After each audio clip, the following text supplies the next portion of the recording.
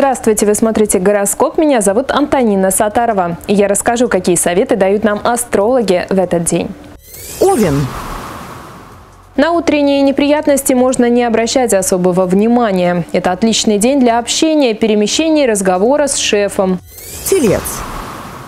Отличный день для того, чтобы окинуть приевшиеся вещи свежим взглядом. Это подходящее время для того, чтобы узнать новое о людях и связях, которые вам уже хорошо известны.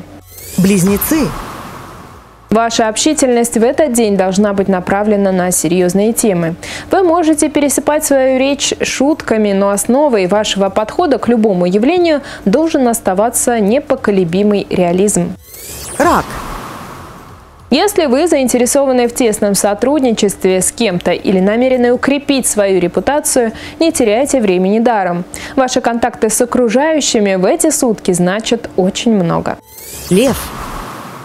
Личные связи могут незаметно приобрести оттенок строгости, официальности и краткости. День хорош для проведения совещаний, изучения литературы профессионального характера. Дева. Какую бы ситуацию вы ни попали, вам будет о чем подумать или чем заняться. У вас появятся интересные собеседники. Весы. День может оказаться особенно информационно насыщенным. Возможно, вам придется обсуждать текущие проблемы с окружающими, много читать, писать и думать. Скорпион. Возможно, неожиданные небольшие приключения в дороге. Скорее всего, благоприятные или с непредвиденной удачной концовкой. Стрелец.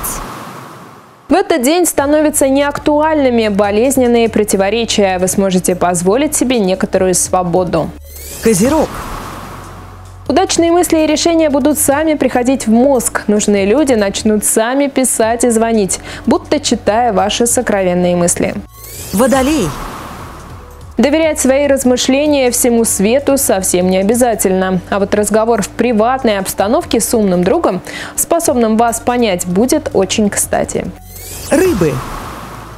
Вносить в свою жизнь новые элементы необходимо со всей возможной аккуратностью и осмотрительностью.